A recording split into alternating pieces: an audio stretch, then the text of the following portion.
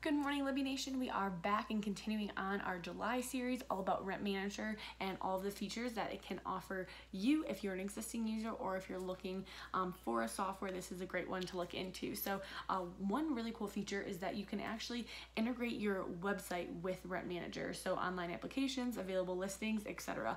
Lots of options there. Definitely something that you want to check out. Um, that's all we got for Rent Manager today, but don't forget that we did just release our Libby U virtual classroom. Um, lots of great information there. I definitely recommend checking it out with the link below. If you have any questions, don't hesitate to reach out. Uh, we are happy to set up a, a personal strategy session to kind of decide what classroom would be best for you. So you can do that at mylandlordhelper.com slash free. Thank you.